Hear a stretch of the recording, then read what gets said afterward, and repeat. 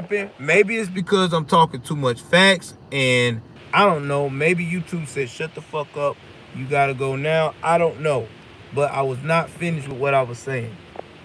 Uh if it's your first time tuning in, hit the like button, hit the subscribe button, hit the notification bell up top. So if you didn't catch the last video, okay? The last video, I was talking about Ahmaud Arbery. I was talking about how Ahmaud Arbery, okay, case now is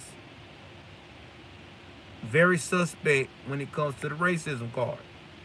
Now, when I say suspect in the racism card, I'm not saying that there's not no racism involved. It's actually some proof here that it's a racist undercover work going on.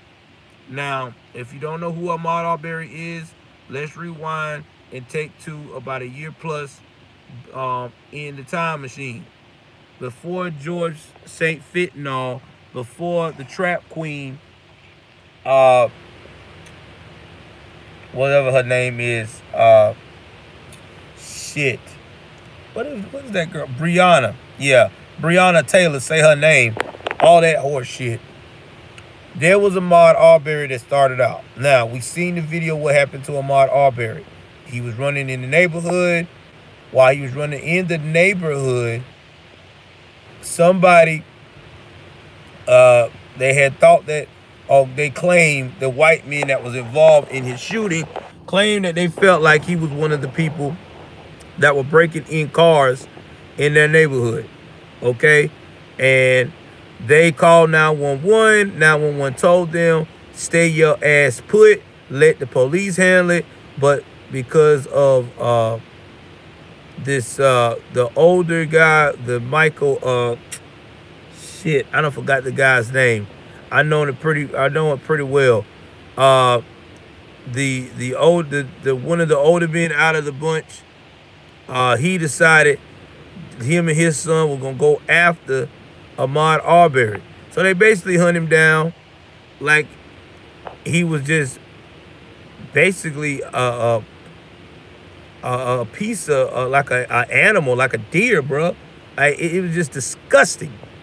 And they cornered him, and they had Roddy Rich, their neighbor, that got him at the back. And you know, like any human being, when you see someone corner you, you're gonna do one or two things. You're gonna run or you're gonna fight. He decided to fight. Dude had the gun, had a shotgun because the father already fired the first shot and the dude was trying to run around the thing to run around from him. And then as soon as that guy fired the first shot at him, he see this man with this long ass gun. He gonna do what anybody else would have done. You know, you gonna try to fight the dude off, and he shot him. So either way it goes, Ahmaud Arbery, life was taken that day. As as further things came out, the daughter admit to take a picture of Ahmaud Arbery's dead body and was spreading it around uh, social media on Snapchat. Then there were texts that came out talking about these guys using the N-word with the hard R like it was a regular day back in the 1950s. So with all this coming out, you would think, okay, this is a powerful case. A lot of racism going on. You know, we done had all this shit going on in the world today. You know, let's try to make this case where we can make this thing fair, swift, and get it out of the way. Well, when you're dealing with Glynn County, with all the corruption it had that exposed, they got most of it, but not all of it. Because magically, they fought to keep the case in the county. That was the first mistake. Number two, yes, they got a judge from Savannah that was a Supreme superior court judge that was, excuse me, a higher ranking uh Supreme Court judge that was going to rule a superior supreme uh ugh, superior court case. The action is and the result is is that this guy, okay, real talk, this guy has said, based upon the recent news of the jury selection, that his hands is tied. Now you probably said, well, what about the jury selection? What is so bad about that? If you didn't catch the last part two, I'm just trying to rewind so you can catch it. The jury selection is 11 white people and one black. I know. Ain't that some crazy shit? Exactly. Now, the jury selection was mostly deemed and controlled by the defense team of these three ratchet ass people. Yeah, I don't they're they're they're very very much ratchet. Cause to kill somebody in cold blood like this, unarmed, I, I'm sorry, can't respect it. Especially when you was told by the police to stay your ass in your house. Now, because of this, you would think, okay, all this is coming out. Maybe the judge can jump in and get them to look at the jury pool again, reassess, and be more, uh, how can you put this, more uh, diverse. Nope, that didn't happen. Instead, the judge said because of Georgia laws, he does not have any kind of capability to stop this madness.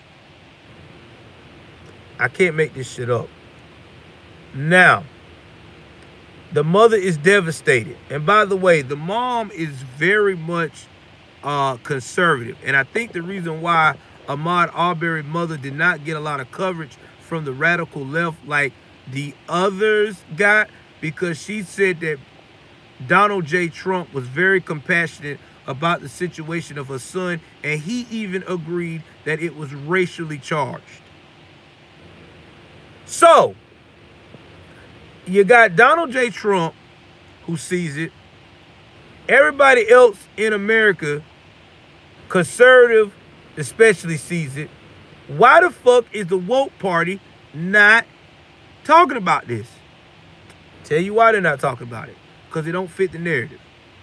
It don't fit the narrative. And let me tell you why it don't fit the narrative. It don't fit the narrative because it actually has real racism in it. It actually have real components of what the fuck. And it's so real that CNN and them don't want to touch it. Because they rather touch Kyle Rittenhouse, the white boy, as they want to call him, the white terrorist that shot people to defend himself during the time when the city was getting burned down over fucking Jacob Blake. Can't make this shit up. Like you like it baffles me. So you got a real racist problem over here. You gonna turn your head to that, and you gonna worry about some guy who defended himself because he's white and he walked past a group of other black people with a gun. Man, this, I, Joe, just let it go. Anyway, my thoughts on the Ahmaud Arbery case before I get distracted. I still say that this case now is going to be a real big question mark. Will the family get justice? That's going to be the biggest question right now. Now, in Ahmaud Arbery case, with 11 white jurors and one black, I don't know. I do know this. If these folks get off, they're going to burn the fuck out of Glynn County. I'm telling you now. These people are, are, are, are ready to go. Glynn County is also democratically ran mayor town.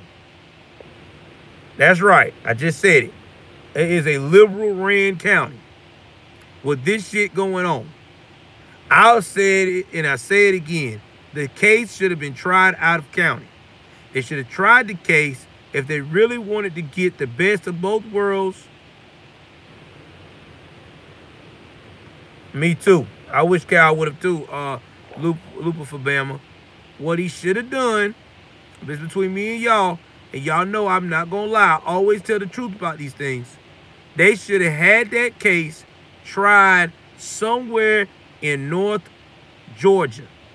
Somewhere where there was a medium-sized town of white and mixture of black. Because you already got a Cobb County uh, district attorney on the case. That's what they should have done. That case should have been tried there. not a Savannah, Georgia, not a Glynn County. It should have been out of the southeastern Georgia hemisphere. It should have been somewhere where it was a new place, a new venue. Macon, Georgia would have been a good spot. You know what I'm saying? You could have went, if you wanted to have it in Atlanta, yeah, you would have went to Atlanta. Well, Atlanta, yeah, they knew they would have lost in Atlanta, so they would have never, never would have been happy with Atlanta. But Glynn County was not the place to have this. It's too much corruption has been exposed in that place, and it's still somewhat going on. Because now you got 11 white folks and one black on the jury. Now, I'm about to fuck y'all up about this town. This town, even though it is estimated to have about almost 200,000 people working and traveling in that city uh, five days a week, the real population of residents there is roughly about 35 to 37,000. Now I'm about to make your mind really get fucked up over here. Over there in Glynn County, where this shit is taking place, everybody knows everybody. That's right. If you're a new person and you get in Glynn County, it don't take but about two to three weeks. People know who the fuck you are. You don't believe me? I used to live there. I lived there. I moved there from the military. I was low key, didn't say nothing to nobody. Within fucking two weeks, them motherfuckers found out who the hell I was and what I was doing. Not bullshit. My neighbors and all. The shit fucked me up. So this is one of these towns that everybody knows everybody. So you can't come in that little town trying to hide out. Shit's gonna get real. So my thing is, why in the world is this case not getting the exposure like these other cases that's supposed to be racist that they talked about? I need y'all to get in the comment section and tell me why. Why do you think that this case not getting the right exposure? Do you think what I'm thinking? Do you think it's because it's really a racist charge case and they know that this case here don't have enough juice in it because in this case here,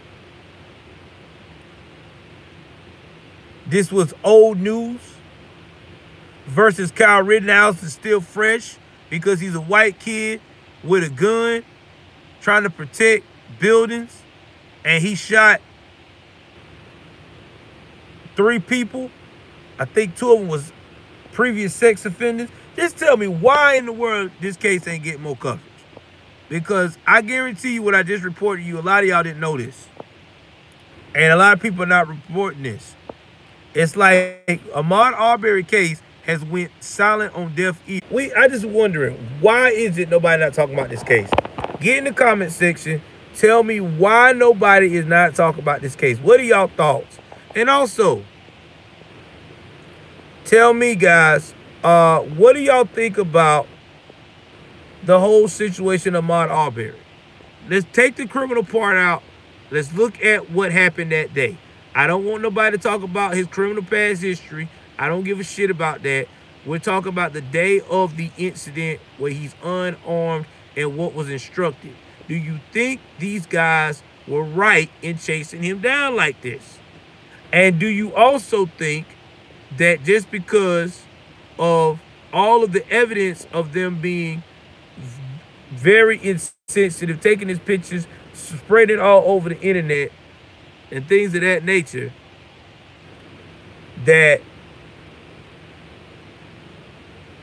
that is some of the major signs of the racial discrimination and prejudice that we try um, that we actually talk about on this channel as a conservative. I mean, I'm just saying, I need my conservatives to really give me their real analysis on this case. Now, like I said, let's don't look at his criminal history. I want y'all to look at the analysis of that day. Do you think all of this was justified for them to do? You got to remember, they chased him from their residence. He wasn't even at their residence. He wasn't even at their residence. Well, Lupa for Bama, just look at the footage and just research it. Look through all the stuff from Fox News. Fox News, Breitbart, uh, all our conservative footage and, and content. It will lay it out for you how fucked up this case was from the beginning of the racial tension that it created and the racism that um, was uh, projected. And you'll see yourself that, uh, yeah, this case definitely was, this was definitely a racial situation. But until then, please like, share, subscribe. Also share the uh, Blackistan Chronicles. And y'all know uh, Glacier White Valley um, Chronicles too, man. All right. I got some more shit for y'all probably tonight. Another shocking uh, Chronicles. This time, this going for Glacier.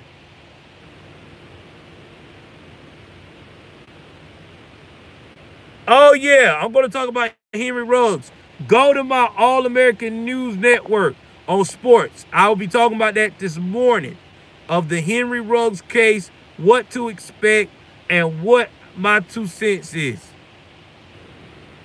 Please like, share, subscribe, and get my black ass off here. I'm out.